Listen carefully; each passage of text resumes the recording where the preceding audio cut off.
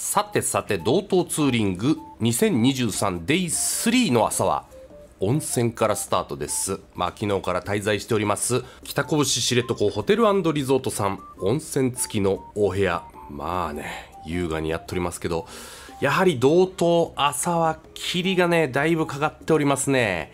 で今日のルートなんですけれどもこのままね知床横断道路を渡ってラウスの方に降りていってでラウスからですね日本最大のサシ野付半島を見てでもって日本最東端野サップ岬に向かうと。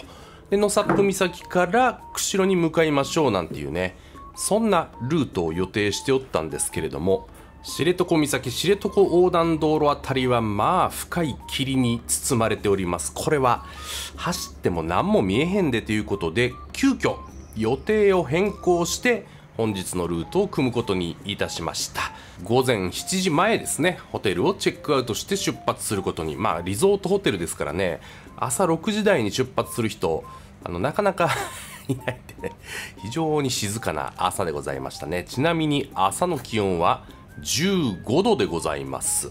7月の頭本州では30度超えだと言ってる中まあ、15度の知床でございます。ですからね T シャツの上に、えー、パーカーを着ましてねその上に革ジャンを着て出発ということになりました。お世話になりました北拳ホテルリゾートさん。お部屋の温泉も大浴場もね最高でしたね。疲れをすっかり払拭してデイ3スタートしてまいりましょう。で今日のねルートなんですけれどもご覧の通り霧が出ているので先ほどお話ししました知床横断道路は今回は断念。ホテルを出て左側に行きますとね知床半島の先っちょに向かいます。知床横断道路があるんですけれども我々はホテルを出て右側にそうです。昨日来た道をねしばらく戻って知床半島のね付け根辺りですね国道244号線斜里岳の横を通っていく道なんですけれどもこの244号線を通って標別中標別別海ね別海町を通り根室の方まで降りていこうというねそんなルートとなりました。まあ本当にこの霧雨が降ってるわけじゃないんですよ。霧が濃いんでね走ってるだけでびちょびちょになるやんと。しかしですねまあ知床半島の根元の辺りまで戻ってきまして国道244号線に入った瞬間霧が晴れましたね。霧が晴れた瞬間この青空ですよ。そして一本道気持ちいいですね。これ見えてないですけどね右側に斜里岳がズドンとそびえているというそんな244号線をまずは標別の市街に向かって走ってまいります。途中ですね地平線が丸く見える展望台でおなじみの海洋台展望台があるね。海洋台今ちらっと僕右見えましたけどね。あっちの方に行くと海洋台っていうところがあるんですけれども今回はそこには立ち寄らず一路南へ南へ歩を進めていくことにいたします。さあホテルを出てから1時間ちょいですね。距離にして80キロほど走ってまいりまして標別の町に入ってまいりました。あそうそうここはね標別町の方ですね。道北にあるですね、まあ、サフォークで有名な標別市とはねまた別になります。標別標別言ってるとねちょっと分かりにくいかなということで標別町に入ってまいりました。でこのままですね標別の町を抜けて244号線直進していくとねあの日本最大のサシ砂のくちばしとかでねサシ野付半島があるんですけれどもまあどうも海側走っても景色が何も見えへんねと霧でね。なので一旦ね海側から離れて今回ね野付半島をパスすることにいたしました。国道272号線右に折れましてね山の中をちょっと通ってで別海を抜けて根室に行こうと。結果ねこの選択が大正解でしたね。こんな感じで霧が晴れるとやっぱり青空が見えてきますんでね。気持ちのいい緑の中を走り中標津町に入ってまいりました。でここから道道8号線っていう道に入ってね南下を続けます。で別海町に突入と。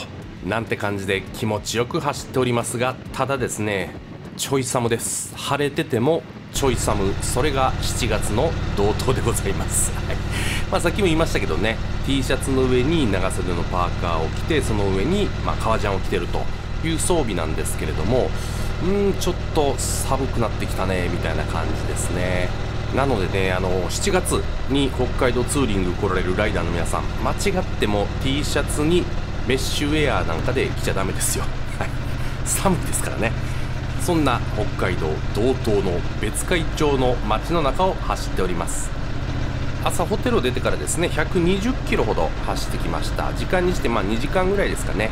で動画にはしてませんけどねここいらでちょっと休憩しますかということでコンビニで一休みをした後根室市に向けて下走っております。別海からはですね国道243号線を走っていくんですけれども根室まであと56キロという表示でしたね。どんどん行きましょう。ちなみにこの243号線という国道ね昨日あの美幌峠の方に上がっていったじゃないですか。あの美幌峠を通ってる道が国道243号線です。なのでこれねくるっと U ターンしてまっすぐずっと行けばねまた屈斜路湖美幌峠の方に行けますよと。いや道ってつながってるんだねなんてねそんなことを思いながら今回はね美幌峠と逆根室の方に向けて243号線を走っております。で243号線の終点アットコというとこなんですけどもここからね国道44号線に入っていきます。左に曲がって国道44号線この道をまっすぐ行くと根室でございます。でね逆方向この44号線は根室と釧路。今日のね最終目的地ですけども釧路を結ぶ国道となっております。この辺りに来るとね寒さが一段と増しましたね。ここまではねいやなんかちょっと寒気味だねと。寒気味だねと、うん、いう感じだったんですけど。この辺り根室に来るといやマジ寒いなと。なってきたんでね。ちょっとそろそろ本格的に休憩入れましょうかと。あったかい飲み物でも飲んでですね体力を回復させましょうということでちょうど目に飛び込んでまいりました道の駅。道の駅スワン44根室でちょっとね休憩することにいたしました。ちなみにこの時の気温は14度でございます。7月の頭ですよ。大サブこちら道の駅スワン44根室。44でいいのかな？うん結構大きなね道の駅でしたね。飲食店が入っていたりまあ大きなスペースのね飲食店が入ってたりとかするんですけども。さあゆっくり休憩しましょう。おっと熊出没注意と。ここから 650m 根室寄りのところで熊がいましたよと。いややっぱりね熊。避けては通れない、ね、ライバルです。ライバルでもないんですけどね、えー、出会ったらそそくさと逃げましょうと。いうそんなご案内がありました。こんな感じでねむちゃむちゃ広いんですよ。もう入り口入って正面にはねこの島フクロウの木彫りの島フクロウが鎮座しておりましてそのお隣今正面に見えてるのが物販スペースさらに奥広々したエリアが飲食のスペースとなっております。まあここでねあったかいラーメンでも食べたいなと思ったんですけどもでも今日のお昼はあそこで食べるんだと決めてるお店があるんでね。ぐっと我慢。でいつものあのソフトクリームもねえちょっと寒いんで やめときました、え一時ソフトクリーム中断でございます。でこの大きな窓からは風蓮湖が見えておりますね。白鳥がトライする湖風蓮湖でございます。なのでこちらの道の駅の名前がねスワン国道44号の44根室となっております。ちなみにこちらが根室アベンジャーズの面々です。うん強そうということでね、まずはちょっとお買い物しましょうか。3000円分のね、お買い物をするという僕は使命がありますんでね。まあ、根室の名物がいっぱい売られています。根室って案外、あ、名物あるな、そういや、という感じでね、私が買ったのが、根室の名手、宇津井勝三郎商店の北のカツですよ。パッケージ、箱も可愛いですね。そして、根室といえば、オランダせんべいです。ご存知ですか、皆さん？柔らかいけどもなかなか噛みちぎれないでおなじみのオランダせんべいほんのりした甘さがねこれが美味しいんですよ。このセットをゲットいたしました。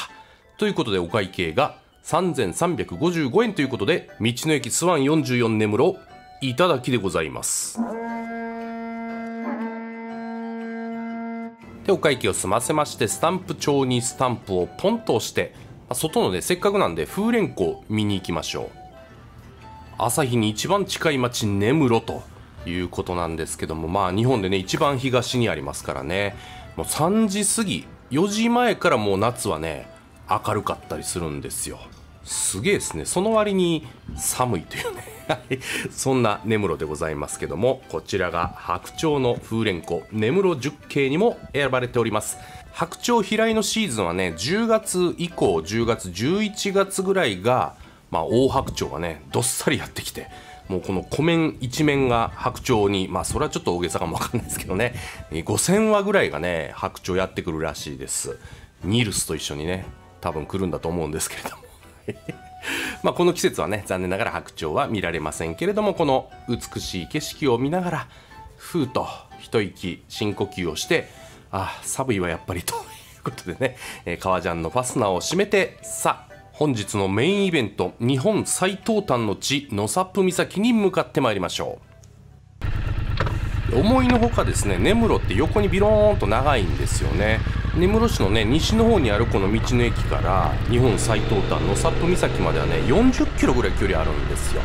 なのでえまあちょっとね寒いの我慢しながらね東東へ進んでまいります。今渡っておりますのがオンネ島大橋といいましてね右側に見えてる水面がオンネ島というね沼なんですけどもこれまたややこしいのがね北海道の足寄にもねオンネ島っていうね湖があるんですよ。でここはオンネ島という沼です。ね足寄の方はねカタカナで書くことが多いですねオンネ島ここは漢字こんな感じが書きます。はいそんなオンネ島大橋を渡りまして無料区間のねまあ高速道路これを使ってねピュンと根室市のま中心ぐらいにあります根室市街目指して走っていきたいと思います。まあ、非常にね便利な道路ですね、まあ、下を走っていってもね非常に景色がいいんですけれどもとにかく先を急ごうとお腹減ったということでね、えー、高速道路をピュンと使って根室市街に入ってまいりました。日本最東端の市根室市ですけどねどうせしょぼいんでしょなんて思われた皆さん残念です。むちゃむちゃ大きな街です。はい。もう店も立ち並んでますしねホテルもありますししっかりした街ですよ根室市。ここで1泊するのもありなんじゃないかななんて思います。まあそんな根室の市街地を抜けて残り2 0キロ我々は日本最東端の地野サップ岬を目指します。町の中心部を抜けましてね5キロぐらい走るとどんどん建物が減ってまいりましてねさらに3キロぐらい行きますと果ての景色と変わります。まあこの辺り景色はむちゃむちゃいいんですけどねなんせ風が強いんですよ。でこの時の気温13度です。めっちゃ寒かったです。本当に。まあ上は革ジャン着てるんでね風通さないでいいんですけども下ですよ。下1枚しか履いてないんであ別にあのパンツ一丁ってわけじゃないですよ。パンツの上にパンツ。はい。長袖のパンツをえ長ズボン履いてるだけなんでもうスースースースーしながら走ってやってまいりましたよ。ついに到着いたしました。日本本土最東端の地、納沙布岬でございます。日本本土というのが味噌ですよ。はい。すぐ目の前には歯舞群島が見えるということなんですが、ちょっとね、天気がぼやーっとしてるんで、うん、あの辺かなみたいな感じでね、眺めておりました。まあでも、なんか最果てに来たな感はありますね。グレーの空とグレーの海なんかちょっと物悲しい感じもするね。そんな野サップ岬先の方には灯台も見えておりますね。後で行ってみようと思います。でこの辺りものすごい広いね公園になってましてね。いろんな塔が立っていたりモニュメントがあったりとかですねするんですけどもそれをね一つ一つああなるほどなんて思いながらね見ておりました。中でもこの4頭の架け橋というね、モニュメント、これがめちゃくちゃ大きくてね、圧巻でしたね。その他にもいろんな記念館なんかもあってね、見学もできます。しかし我々は腹が減ったと。まずは飯だということでね、こちらの三崎の駅さんにやってまいりました。根室に来たらやっぱりサンマ食べないかんでしょということで、サンマ丼をね、食べるために今までラーメンとか我慢してたんですよ。店内に入りまして食券を買って、さあ、出てまいりました。まずはですね体を温めるための花咲ガニの鉄砲汁。そしてこちらが名物とろ生さんま丼でございます。いいですか？とろ生さんま丼ですよ。さんま丼なんてねもう根室でしか食べられへんのちゃうかなとね、思いますけれども、このセットをいただいてまいります。まあ、このサンマがね、脂が乗っててね、むちゃむちゃ美味しかったですね。もうご飯これの倍ぐらいあってもね一気に書き込めるでぐらいのそんなとろ生さんま丼。そして花咲ガニの鉄砲汁をこんな感じのね落ち着く店内でのんびりといただいておりました。まあカニのね身を取り出すのなかなか苦戦しましたけれども。うんでも備え付けのハサミを使って上手に食べました。ペロリでございます。で神様おるなと。ご飯食べて外に出てくるとですね天気がまあ回復してくるわけですよ。で遠くの方にこうね見える見える島が見えるよというぐらい天気が回復してきました。青空が出てきましたね。でねこう望遠にしてですね遠くを見てるとおやと。あそこに何か建物があるぞというのを発見してねあれは何なんだと。あそこに誰かおんのかみたいな感じでねもうね気になってしゃあないわけですよ。でその他にもねなんかないかなってこう望遠を使ってですね島の様子をねずっとね 見てましたねこれ。撮影してない時もねずっと望遠にしてですね島の様子をこうやって観察しておりました。であのさっきねちょっとご紹介した先っちょの方に岬があります灯台がありますっていうねお話しましたけどもそこまで、まあ、道がつながっててバイクで行けるようなんでそちらにちょっと行ってみたいと思います。しかしあの建物はね何やったんでしょうね。でこのね野サップ岬って書いてあるあの看板の前でね皆さん写真を撮る方多いと思うんですけどまあ結構砂利なんでね バイクの方はお気をつけくださいと。この砂利ゾーンを抜けまして舗装路を走っていきますとさっきの灯台のとこまで行けます。この灯台に行く途中にね鈴木商店さんというこの元祖さんま丼のお店なんですかね有名なお店があったりします。さあその鈴木商店さんを越えますと灯台にやってまいりました。この頃にはもう空がすっかり青空になっておりますね。いい景色を眺めることができるんじゃないかと思います。北海道最初の野サップ岬灯台って書いてある通りですね。こちらの灯台は北海道灯台発祥の地なんです。灯台第1号なんですね。でこの灯台の裏側にくるっと回ると日本の本土の最東端からの景色を望むことができます。さあ早速行ってみましょうで灯台の裏にはねちょっとなんか建屋があってですねそこはなんかこう野鳥を観察する人の休憩場所みたいな感じでしたねでここからの景色こんな感じです何やらちっちゃな石碑があったんですけどこれなんて書いてあるんですか？なんとかと地酒？地酒 じゃないな わかんないです。はい。え、なんか石碑がありましたね。まあ、灯台がある場所っていうことでね、先っちょなんで、まあ、こう、260度ぐらいのね、パノラマが広がっております。しかも太陽が出てきてですよ。この時気温17度ぐらいまで多分上がってたと思います。気持ちのいい風が吹く穏やかな海を見ながらですね反対側はこんな感じ。先ほどねご飯を食べてたとこあたりですね。という気持ちの良い景色を存分に堪能してまあいろいろ思うところもありますけれども野サップ岬を後にいたしましょう。さあお次はですね本日の宿泊地でもあります釧路を目指していくんですけれども野サップ岬から釧路の、まあ、市街地まではだいたい距離にしてね150キロぐらいあります、まあ、時間にしてね3時間ぐらいかかるかなという感じなんですけれどものんびり行きましょう。うんまあ、この野サップ岬に来てね驚いたのはこの岬の辺りにも結構、まあ、お家というかですね工場なのかな。いろんなこう建物が建ってるんですね。入間岬とか通った時はもう本当に何にもないとこだったんですけども結構建物が多いなと。冬場寒い時皆さんどうされてんのかななんてね、まあ、勝手な心配をしながら野サップ岬からまずは根室の市街の方に向かって来た道を戻っていきます。でもまあ景色がいいというかね天気が回復してよかったですよ。本当にねついてますね。昨日の美幌峠もそうだしおとついの襟裳岬もそうでしたね。まあ着いた瞬間晴れるとナイスっていう感じでしたけどね。まあ雨とか降ってもまあ楽しいっちゃ楽しいんでしょうけどもどうせやったらこういうね青空の下走るのが気持ちいいですからね。最高の根室野サップ岬ツーリングとなりました。さあここからね釧路に向かっていくんですけれども有名なね北太平洋シーサイドラインという道もあるんですよ。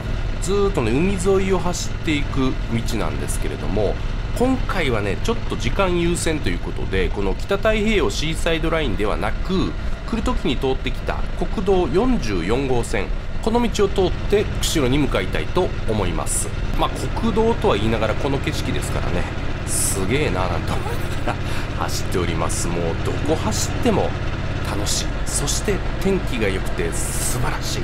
そんな道東ツーリングの3日目でございます。さあ野サップ岬から100キロほど走ってまいりましてね厚岸郡厚岸町に入りました。厚岸と書いてね厚岸町ですけれどもまあこのね壮大な景色もそうなんですけども厚岸といえばあれですと、牡蠣です。牡蠣がむちゃむちゃ有名なんですよ。ということでちょっとね道の駅によって牡蠣を食べていこうということでしばし休憩することにいたしました。やってまいりましたのがこちら。道の駅あっけしグルメパーク。またの名をまたのなのかな。味覚ターミナルコンキリエでございます。コンキリエっていうのはねあのイタリア語で貝の意味でシェルの意味なんですよね。だからまあイタリアではあの海上のパスタ。あれをねコンキリエと呼んでたりするみたいなんですけどもまあ牡蠣食べてくださいと言わんばかりのネーミングコンキリエですよ。道の駅あっけしグルメパーク味覚ターミナルコンキリエ。流行る気持ちを抑えてですねこの景色で一呼吸置いてさあ早速入ってまいりましょう。コンキリエ。もう入り口からして牡蠣のアピールですからね。これは期待できる。右を見ても左を見てももう牡蠣と。で今単発のね外国人のお兄さんの等身大パネルがありましたけどもね、まあ、北海道民は見たことあると思いますけどねこのコンキリエの CM であのお兄さんがただただ踊り狂ってるだけの CM があるんですよ。あのお兄さんは誰なんだということが気になるところではありますけれどもまずはスタンプです。はい。これ忘れがちなんですよね。まずスタンプを押してこのスタンプ台の横にあるカフェ。オイスターカフェで買ってきた商品がこちらになります。じゃじゃーん蒸し柿と柿ドッグでございます。もう見るからに美味しそうなプリップリの蒸し柿とあと柿ドッグ。牡蠣のね唐揚げをこのドッグ状にね、まあ、パンに挟んであるというものなんですよ。これは絶対美味しい、うん、まず蒸し柿からいきましょう。箸でつまむとねもういい感じで蒸されてるんでこのプルンプルンですよ。で口に運ぶとねまあジューシー本当にね15個ぐらいは食べれますね。うん。という蒸し柿そして柿ドッグなかなかね食べにくかったりもするんですけども口をでっかく開けまして一気にバクッと。フライじゃなくてね唐揚げにしても美味しいなというね発見でした。ペロリでございます。で本当はもうビールが飲みたくて仕方ないんですけどそういうわけにもいかないんでね。ソフトクリームでお茶を濁すことにいたしました。このソフトクリームもねクリーミーで美味しかったですよ。本当に。いやもうここで一泊したいと。いう感じでしたね。であとはお買い物しなきゃいけないという僕使命がありますんでね。まあ牡蠣関連の商品がたくさん並んでおります。そんな中で私が購入いたしましたのがこちらです。缶妻ジャパンと。いい名前ですね。厚岸産東大粒の水煮と厚岸産牡蠣の燻油漬けでございます。お酒が進んで仕方ないシリーズということでね買ってまいりました。ということで先ほどのカフェのお会計と合わせまして5626円ということで道の駅厚岸グルメパーク厚岸味覚ターミナルコンキリへいただきです。っていうか早口言葉みたいな。でこちらのですね道の駅まあ牡蠣ねさっき食べましたけどあの1階のカフェだけじゃないんですよ。2階に上がってきますとね牡蠣を食べられるお店が3店舗ございます。今見えておりますのが炭焼きの炙り屋さん。焼き牡蠣バケツ牡蠣とか書いてますけどね。バケツ牡蠣。牡蠣をね10個バケツでね蒸すっていうね豪快な料理なんです。その他ねこの厚岸の有名な丸右衛門とか柿右衛門なんていう牡蠣をねまあ焼き牡蠣生牡蠣蒸し牡蠣いろいろ食べられるお店。さあそしてこちらがオイスターバールピトレスクさんですね。実はこの厚岸ウイスキーもめちゃめちゃ有名なんです。そのウイスキーと牡蠣なんかのねハーモニーを味わうことができるそんなピトレスクさん。そしてまだまだありますよ。こちらがレストランエスカルさんですね。まあ牡蠣をはじめ地元で採れた海産物なんかを和食洋食まあいろんな調理方法でいただくことができるそんなレストランでございます。という感じでも牡蠣好きにはたまらん施設ですね。で1階にはねあの水族館なんかもあります。プティさんですね、えー、プティさんっていうのもあるかな、えー、水族館プティがございます。まあここでね、えー、このお魚くんとですねしばしこのアイコンタクトで語り合っておりました。そんな大満足の休憩を終えましてさあ本日の目的地最終目的地ですね。釧路に向かってまた走り出しましょう。いや本当に良かったですね。道の駅厚岸グルメパーク厚岸味覚ターミナルコンキリエ。言えた。はい。今度はね誰かに運転してもらって車で来てね朝からもうここで牡蠣尽くしのビール尽くしのウイスキー尽くしやりたいなと。思います。さあここから釧路まではまたね国道44号線を通って約50キロというところでしょうかね。1時間ぐらいで到着となります。まあさっきのね天気が良かったのはどこへやらちょっと曇ってまいりましたけれどももうでもねあとは釧路に行くだけなので全然問題なしということです。ちなみにこの翌日まあ翌日ね僕は札幌に帰るんですけれども天気予報は雨となっております。うんまあでも帰るだけだからいいかと、うん、なんてことでこの霧が出始めたね厚岸から釧路に向かって順調に走っております。さあ厚岸を出てからちょうど1時間ぐらいですね釧路の市街に入ってまいりました。やはりまあ夕方ということもあって市内中心部は結構交通量多めですね。ところどころちょっとミニ渋滞的なのにも捕まりましたけれどもようやく本日のホテルに到着いたします。この日もよく走りました。知床のね北拳知床ホテルリゾートさんを出て標別を回って野サップ岬に行ってで金切へ厚岸によって釧路に到着するというね350キロのツーリングとなりました。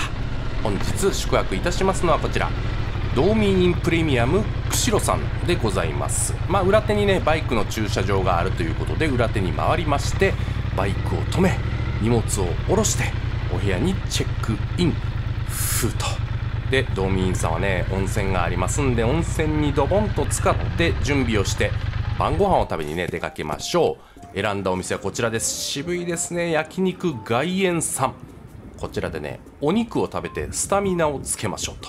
まあなんかこう昔ながらの焼肉屋さん。っていう感じでこのガスのね焼き台とかも最高ですね。まずはビールで乾杯。この地元の人に愛されてる感満々のお店でお肉を食べビールをたらふく飲むそんな夜でございますというところで道東ツーリング 2023Day3 の模様は以上となります。まあね Day4 は釧路から札幌まで高速道路でひたすら帰るというだけのね、えー、まあ模様になっておりますんで 動画にするかどうか分かりませんけれどももし動画にした場合は皆さんよろしくお願いします。ということで今回も最後までご視聴どうもありがとうございました。また別の動画でお会いいたしましょう。よろしかったらねチャンネル登録をしてお待ちください。ではではまた次の動画でお会いしましょう。さよなら。